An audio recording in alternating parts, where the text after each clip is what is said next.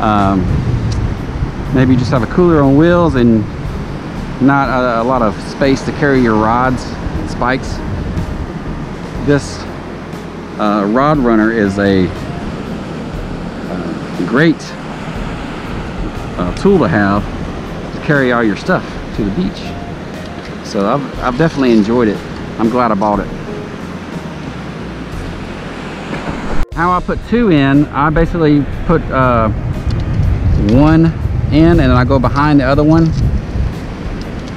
and I'll slide the was it this one? I'll slide the one in front down first. That's what I that's right, that's right. Slide the one down first and then I'll I'll come down with this one and go on top of it. So it's just like that. So I can you can actually have two on each side if you want to do that. But that works out real good.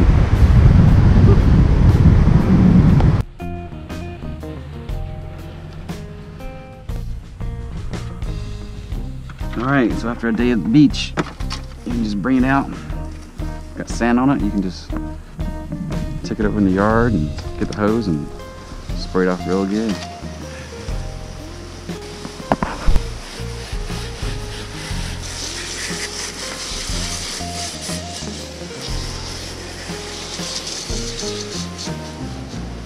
If you want to condense this down, uh, this these slots were here for the legs. If you want to pull those out, you, these just pull out. Put the legs back up on either side if you want to do that. And if you want to take like the bottom, um, put that back on. Take this bottom one out. If you want to take these off, there's like these buttons. If you can see right there, push that in. There's one down here, right here. If y'all can see that. Where my finger is, right there, and right there. You just press those. That and that one.